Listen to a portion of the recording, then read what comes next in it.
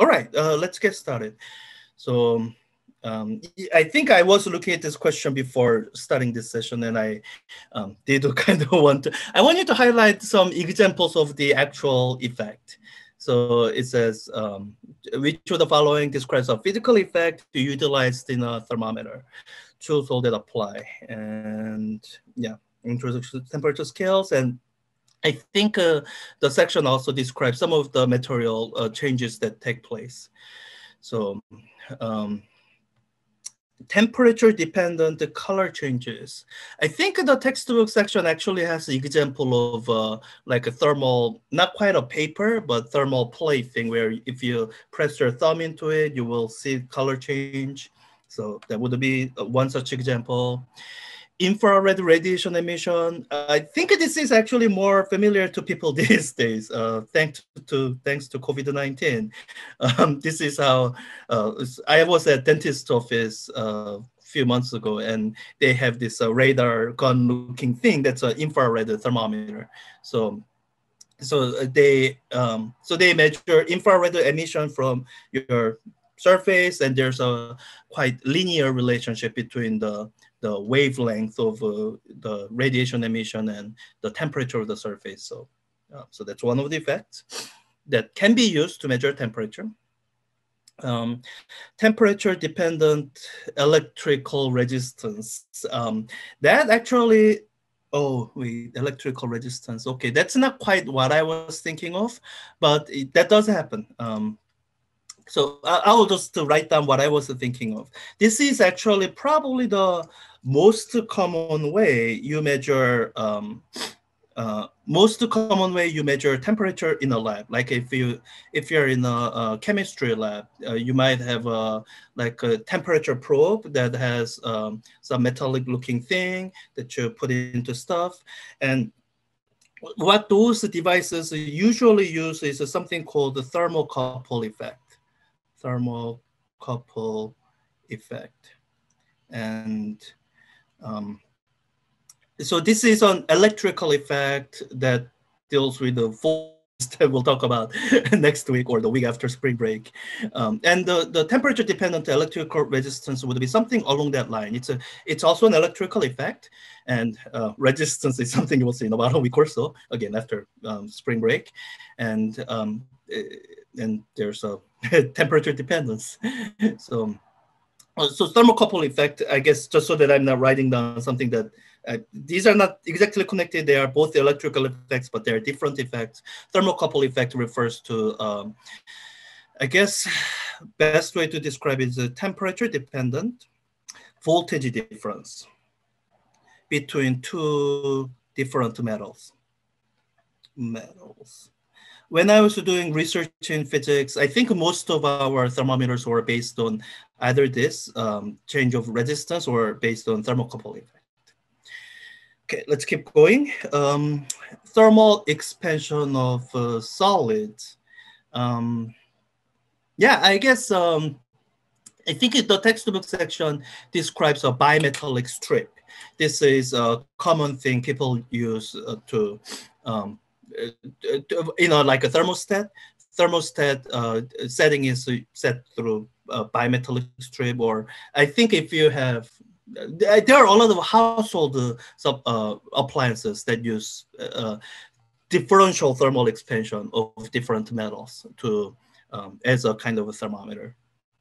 And the last one, thermal expansion of liquids.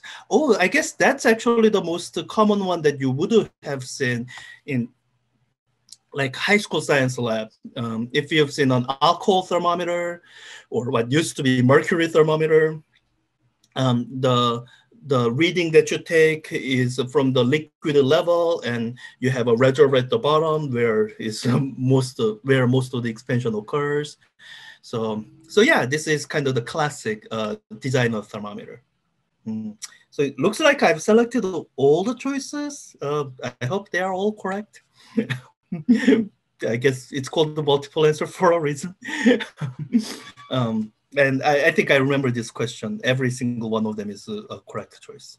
It, uh, I think it helps to highlight just how how many different things uh, thermometer, uh, sorry, temperature uh, affects, and there are just so many different ways of measuring the temperature. Um, okay, so if there are further questions, let me move on.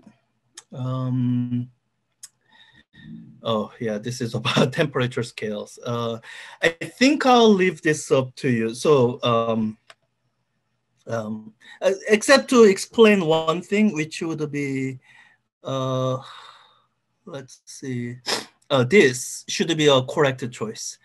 Both the degrees C and degrees Fahrenheit are defined by melting point of ice and boiling point of water. It just so happens with the degrees C, it's zero and 100. With the degrees Fahrenheit, it's 32 and 212. Don't ask me why. Um, but they are both uh, defined through properties of water. Um, and yeah, I think, uh, I guess me selecting this won't really show you anything because the way these questions are set up, I think if you select nothing, um, or, well, let me select this, it'll, um, so, you know, I'll get partial credit, but even if I selected nothing, I would still get partial, oh, wait, I don't. Oh, all right. So uh, I guess so you can see that that one choice is actually correct since I get more points for selecting it than not. Um, I, I, must have chosen an option that said, yeah, anyways, or yeah, I don't know. Looking at this, I'm pretty sure I got credit for the, the ones that I didn't select that I shouldn't have selected. I don't know. Yes. Um, so, so yeah, question three is the follow-up to question two. Um, so both the Celsius and Fahrenheit, uh, I guess since I'm here and I'm talking about it anyway, let me do that. Celsius scale is defined by setting these as the reference point. And Fahrenheit scale is defined by setting these as the reference point. Now, Kelvin scale, um, I, I guess uh, to the extent that Kelvin scale is based on Celsius, it is defined by the um, defined by the melting point of ice and boiling point of water. But the more important thing about Kelvin scale is that, uh, from for my in my opinion, uh, Kelvin scale is the only scientific scale because the zero scale of Kelvin means something very uh, specific and not arbitrary. There's a reason when we use Celsius or Fahrenheit, we say degrees Celsius and degrees Fahrenheit. With the Kelvin, if you know what you're doing, you don't say degrees Kelvin. Kelvin is just the Kelvin. 273 Kelvin is just 273 Kelvin. And what that presence or lack of degree represents is, is this an arbitrary scale that we've defined arbitrarily so that everyone in the world has some common reference point. Th that's what the word degree refers to. It's like, you know, 360 degrees. Why did we divide one circle into 360 divisions? Because, because Babylonians liked uh, base 12. I don't know. but um, but with the Kelvin scale, the zero, zero Kelvin is based on something physical and non-arbitrary. So we don't say degrees Kelvin, we just say Kelvin because it's not an arbitrary scale. Um, let's see, question four. Um,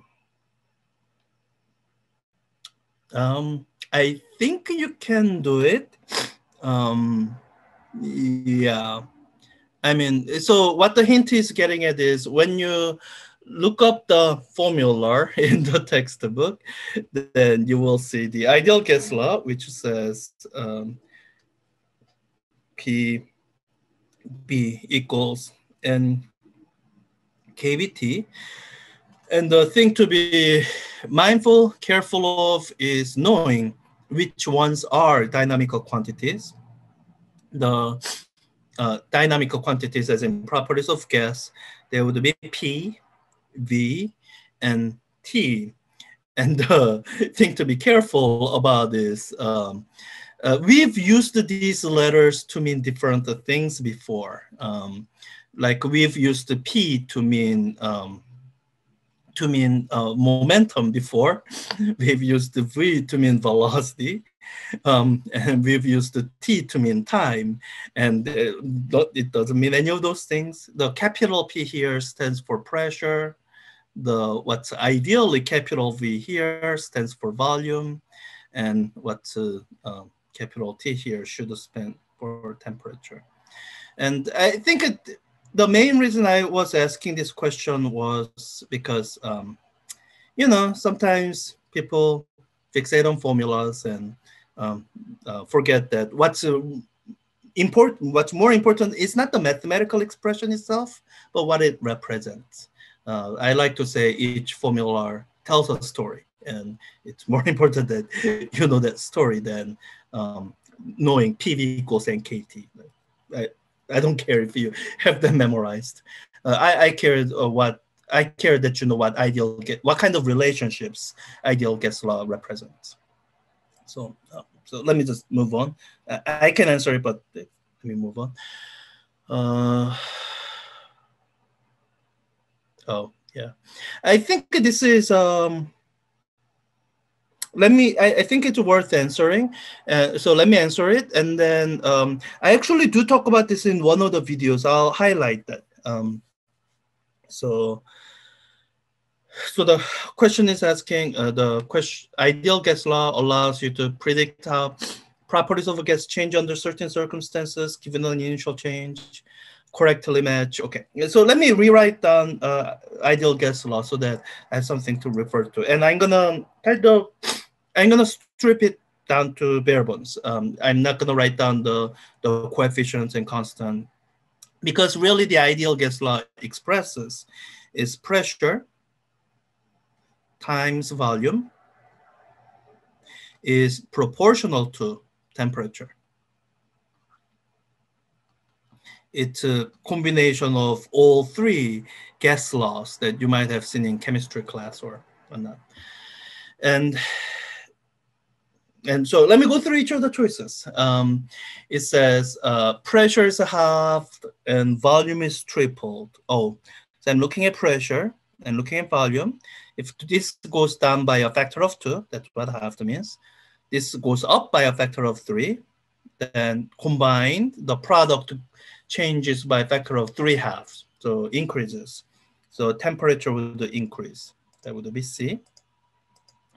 Pressure is increased keeping volume constant. So I'm looking at this expression here. Uh, volume is constant, so I don't have to worry about that. It says pressure is increasing. Then temperature has to increase. There's no other choice, okay. So temperature increases. Um, and okay, this choice says uh, volume is increased.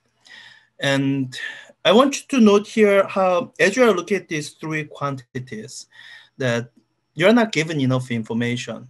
You are told that volume is increased, but it didn't say anything about pressure. Is the pressure constant? Is the pressure also increasing? Or is pressure going down? Going down just the right amount to keep the temperature constant or going down so much that temperature is actually decreasing? There's just so many possibilities there. So for this choice, the answer would be not enough, information given. And I, I find that that's uh, sometimes the biggest mistake people make when they work with ideal gas law. They just say, oh, volume is uh, increased, and there's um, one of the gas laws. I forget what it is, Charles law or Guy Gate I forget all these names. Um, and sometimes people just remember one of those gas laws and forget that for one of those gas laws to hold, you have to hold some of these quantities constant. And ideal gas law deals with the most general case. So unless someone tells you that pressure is constant, you shouldn't assume that it's constant. Okay, so volume is decreased and keeping pressure constant. So here, okay, they said the pressure is constant, so we don't have to worry about it. So if the volume is decreasing, then temperature must be decreasing. So temperature decreases E. Pressure is decreased. Uh, this is the same deal. They didn't tell me about volume. Could be increasing? Could be decreasing? Could be decreased or could be increasing so much that despite the decrease of pressure, the temperature is increasing. Anything could happen. So not enough information. Pressure is increased while volume is decreased in inverse proportion. Oh, I think what it means is when you multiply them together, that the product is not changing. So temperature remains the same. And I guess I'm never selecting B or D. Um, yeah, I think choices B or D are there so that people might for these might mistakenly choose them. Unless they tell you something about the temperature from the fact that volume increased, you cannot infer that pressure necessarily decreased. Now, if they told you that temperature is constant, then you would be able to infer that. But if they don't, uh, you don't have enough information. Okay. So I think that, uh, okay, question number five. Uh, let me look at last two questions. I hope I don't have to do them. Um, yeah, I think this is matter of definition of heat. You should uh, read it in the textbook and be mindful of the physics and frankly chemistry definition of heat, which is different from everyday definition of heat.